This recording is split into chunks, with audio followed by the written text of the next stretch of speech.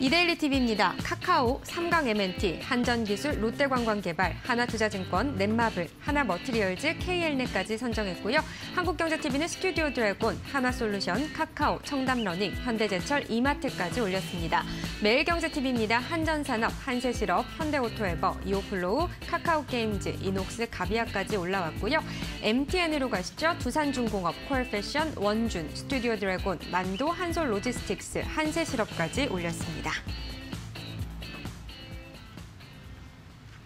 네, 종목 체크하겠습니다. 세 가지 종목 분석 들어갈 텐데요. 첫 번째부터 확인해보죠. 네, 일단 넷마블 좀 보시면 좋으실 것 같아요. 음. 일단 국내를 굉장히 좀 대표하는 그런 게임 기업인데 어, 최근에 이제 메타버스 기술을 조금 보유하게 되면서 굉장히 좀 추가적인 모멘텀까지 생겨났다 이렇게 좀 볼 수 있겠습니다. 그래서 최근에 이제 스포츠 게임 전문 개발사인 이런 이제 나인엠 인터랙티브를 또 100% 네, 흡수 합병한다고 지금 공시가 또 나온 상황인데요. 어, 이는 기존의 이제 모바일 게임 이외에도 추가적으로 이제 메타버스 사업을 위한 어떤 행보로 지금 판단이 되고 있습니다. 그래서 현재 메타버스 시장이 얼마나 좀 가파르게 성장을 하고 있냐면은 이제 2025년 기준으로 봤을 때 원화 규모로 한 315조 원까지 또 성장을 할 것으로 좀 예상이 되고 있고요. 이는 어, 또 단기간에 그만큼 이제 어, 고성장할 주도 산업으로 현재 좀 각광받고 있다라고도 볼 수가 있겠습니다. 그래서 넷마블 역시도 현재 신사업을 또 추진함에 있어서 네, 신성장 동력으로 좀 작용할 수밖에 없다라고 보여지고 있고요. 어, 사실 그동안 넷마블은 사실 적절한 그런 신장 모멘텀을 좀 갖고 있음에도 불구하고 1년 동안 굉장히 좀 어, 굉장히 좀 주가가 지지부진했던 모습인데 사실 실적이 작년보다 다소 부진한 거지 뭐 적자를 크게 기록했다든지 이런 거는 아니거든요. 그래서 이 의미는 뭐냐면 어떠한 그런 특별한 악재적인 요소가 없음에도 불구하고 어, 너무 좀 주가가 과도하게 하락했다 이렇게 좀 볼 수가 있겠습니다. 그래서 이 얘기는 또 돌려 말하면은 이제 어, 저가 매수의 기회가 또 될 수 있겠다 이렇게도 좀 판단을 해볼 수가 있겠고요. 예. 어, 또 4분기부터 는 일단 메타버스 기술을 보유하게 되면서 앞으로 이제 추가적인 고성장을 좀 기대를 해볼 수가 있겠습니다. 그래서 이제부터 넷마블은 조금 단순한 어떤 게임 제작 회사가 아니라 종합 콘텐츠 제작 회사로 좀 보셔도 좀 무방하다라고 좀 예상이 되고 있고요. 어, 이러한 부분들이 당연히 현재 지금 주가가 굉장히 좀 turnaround 하기에 네, 좋은 모멘텀이기 때문에 앞으로는 성장주 개념으로 조금 보셔도 좀 좋으실 것 같습니다. 그래서 목표가는 이제 실적 개선이 본격적으로 이루어지는 시점인 이제 올 4분기부터 네, 내년에 시작이 되, 기 때문에 이제 장기적으로 내년까지 본다면은 지금부터 충분히 어, 장기적으로 접근 가능하다라고 네, 정리를 해보도록 하겠습니다. 네, 사실 요즘 게임주들을 여러모로 좀 변모를 하고 있죠. 정통 게임보다는 또 NFT 메타버스와 엮여서 지금 흘러가고 있는 분위기들도 있는데 대형주들은 좀 지금 보는 건 어떻게 보세요? 어, 일단은 모든 종목이 사실 같은 업종이라고 해도 그게 case by case거든요. 근데 저는 그렇게 생각해요. 지금 시장이 어떤 시장이냐면 결국에 어, 시, 지수가 반등이 나온다고 하더라도 다 같이 올라가는 시장은 아니에요. 그래서 예. 결국에 개별적으로 모멘텀이 지금 뚜렷하게 있느냐를 봐야 되는데 지금 제가 넷마블을 꼽은 이유가 뭐냐면은 결국에 지금 신작 모멘텀 갖고는 그동안 주가 상승을 못했다는 거죠. 그러면 여기서 추가적으로 뭐가 있느냐를 봤을 때는 결국 메타버스라는 겁니다. 그래서 이런 식으로 현재 개별적으로 어떤 모멘텀을 가지고 있느냐 없느냐에 따라서 앞으로 주가의 향방이 갈릴 거기 때문에 대형주라고 해서 다 좋은 건 아닌 것 같아요. 그래서 어, 넷마블처럼 뭔가 추가적으로 앞으로 어떤 미래 성장성이 있는 어, 그런 이제 사업에 투자를 한다든지 이런 부분들이 좀 명확하게 좀 있어야 될 것 같습니다. 네, 알겠습니다. 넷마블 오늘 장에서 3%대 강세 올라가고 있고요. 뭐 펄업스 위메이드는 뭐 상대적으로 많이 올랐고 넷마블 쪽에 이제 매수 의 시점으로 좀 기회를 잡아보는 것도 좋을 것 같다는 의견이셨습니다. 자, 첫 번째 종목이었고요. 두 번째 종목은요? 네, 이마트고요. 이거 제가 저저번주에 한번 말씀을 좀 드렸던 것 음. 그러네요. 같습니다. 근데 지금도 좀 늦지 않다라는 관점에서 조금 말씀을 드려볼게요. 그래서 현재 음. 유통주는 이제 시작인가요? 어 그것도 좀 case by case예요. 예. 그래서 지금 어 사실 이마트 같은 경우에 뚜렷한 모멘텀이 또 있습니다. 그래서 음. 원래 이제 롯데 쇼핑이 유통주 유통주 중에서 이제 대장주였죠. 그래서 1등이었었는데 최근에 이마트가 좀 따라잡은 모습이에요. 그래서 어 이마트 같은 경우에는 이제 4위 시가총액 4위였다가 지금 1위까지 또 탈환을 한 모습인데 사실 이 얘기가 뭐냐면 이제 이마트가 지금 유통주에서도 대장주로서 좀 자리를 잡아가고 있다라고 좀 보시면 될 것 같고요.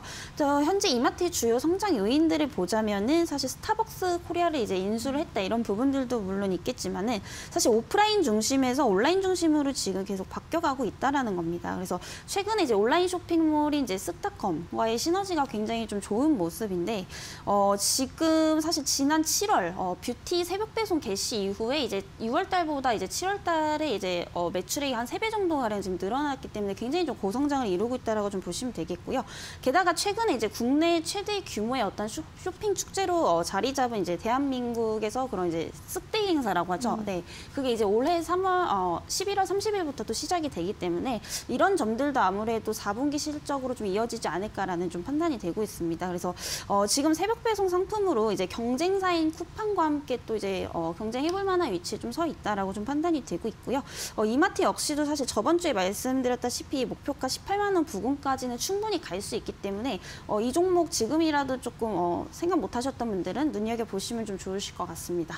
네, 오늘 뭐 증권가에서 신규 리포트가 또 나오기도 했네요. 긍정적인 리포트고요. 오늘 4%대 강세 유지되고 있습니다. 여러 가지 모멘텀들 갖고 있는 이마트도 한번 집중해서 보시기를 바 라겠습니다. 자, 계속해서 다음 종목 확인해 보죠. 네, 한솔 로지스틱스고요. 네, 음. 컨테이너 물류 관련주라고 보시면 되는데 사실 정말 많이 좀 올라왔던 종목이에요. 그래서 사실 지금 신규 매수하기에는 조금 부담스러운 그런 종목이라고 생각은 되는데 예. 사실 짧게 보기에는 아직도 가망성은 있습니다. trading 네. 관점으로 볼 필요 있는 네, 종목인가요? trading 관점으로 보셔야 되는 예. 음. 게 지금 최고점이 5,750원인데 사실 지금가랑 그렇게 크게 차이가 안 나거든요. 그럼 여기서 이제 추가적으로 이제 상승을 하게 되, 어, 하려면은 실적이 계속 해서 지금 좋게 나와야 된다라는 겁니다. 그래서 한솔 같은 경우는 사실 이번에 한 4년 동안 네, 매출액 영업이익이 줄어들지 않고 계속해서 지금 늘어왔다라고 좀 보시면 되는데 그런 부분들이 사실 지금 차트상에 계속해서 좀 반영이 되고 있다라는 거예요. 그래서 올해 이제 정점을 찍은 게 뭐냐면은 올 2분기 실적이 작년이랑 비교했을 때 거의 4배 가량 지금 영업이익이 또 증가를 했습니다. 그래서 이런 부분들을 보자면 앞으로 실적이 계속해서 조금 좋아진다라고 한다면 추가적으로 이제 5,750원 이상으로 또 갈 가능성도 충분히 있겠지만은 어, 만약에 실적이 중간에 조금 어, 시장 예상치보다 하회를 한다라고 했으면 한다라고는 이제 어떤 결과들이 좀 나온다면은 차익 실현 매물도 조금 고려를 해봐야 될 것 같습니다. 그래서 이 종목은 아직까지 이제 성장주 개념으로서는 어떤 실적 모멘텀은 받쳐주고 있지만 사실 어떤 그 valuation적으로 좀 부담스럽다라는 측면에서 봤을 때는 네, 단기적 관점, trading 관점으로 좀 접근을 하시면 좋으실 것 같아요. 그래서 1차 목표가는 이제 5,750원 전고점 부근인데 여기서 이제 추가적으로 가져가기에는 계속해서 실적 양방을 좀 살펴봐야 된다라고 좀 판단이 되고 있고요. 분할 매도 관점으로 좀 접근을 하시면 좋을 것 같습니다.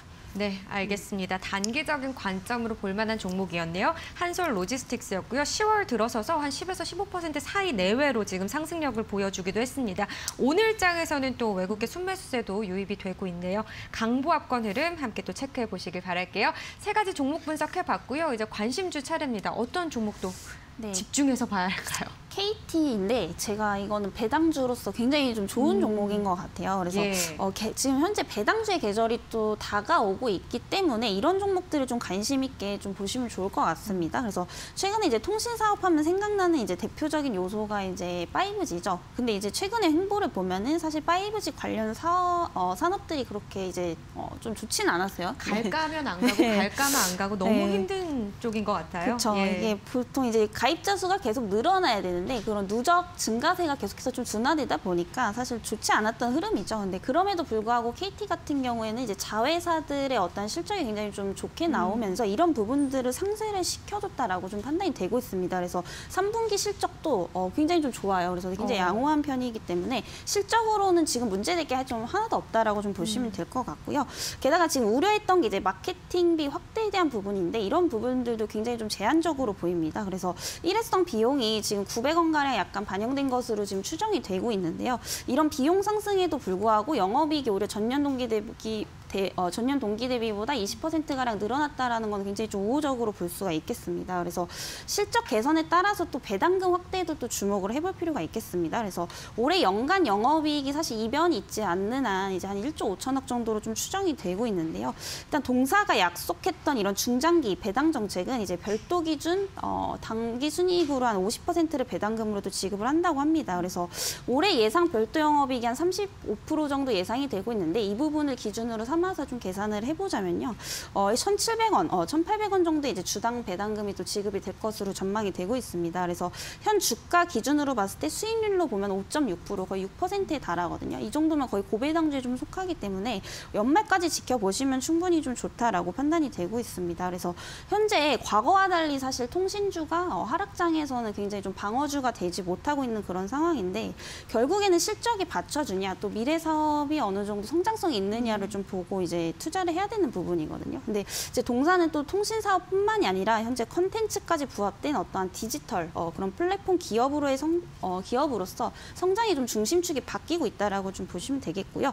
그동안 이제 금융, 어, 통신 사업이 주축이었다면은 이제는 여기서 추가적으로 미디어 사업이 또 추가가 됩니다. 그래서 예. 배당뿐만이 아니라 사실상 내년을 봤을 때도 어떤 신사업에 대한 기대감은 계속해서 있는 음. 거거든요. 그래서 어, 계속해서 좀 성장주로서 바라보기에도 좀 적합한 종목이라고 판단이 되기 때문에 일단은 연말에 고배당을 노려보시는 게 좋으실 것 같고요. 그리고 내년에는 이제 어떤 신사업에 대한 어떤 기대감들 이런 부분들이 또 실적으로 이어질 수 있는지 계속해서 음. 좀 지켜보시면 좋으실 것 같습니다. 그래서 목표가를 조금 높게 잡아 드릴게요. 사실 성장주라는 개념 자체가 예, 목표가가 사실 의미가 없는 거거든요. 실적에 따라서 계속 올라가기 때문에 예. 일단은 1차적으로 3만 5천 원까지 잡아 드리되 2차적으로는 4만 5천 원까지도 충분히 갈 수 있겠다. 네, 이렇게 좀 정리를 해보도록 하겠습니다. 네, 알겠습니다. 지금 목표가는 4만 5천 원까지 좀 중장기적으로 봐주셨는데 매수 시점은 뭐 지금부터도 가능하다고 보시나요? 충분히 가능하다라고 음. 좀 판단이 되고 있고요. 만약에 추가적으로 좀 차익 실현 매물이 나온다든지 뭐 이렇게 조정이 좀 나오게 된다라면은 어, 지금 3만 1,850원부터 이제 2만 8천 원까지 충분히 분할 매수 가능하다라고 좀 판단이 되고 있습니다. 네, 알겠습니다. 분할 매수 관점으로 노려보자라는 전략이었습니다. 배당주인 KT까지 이야기 들어봤습니다. 오늘 말씀 고맙습니다.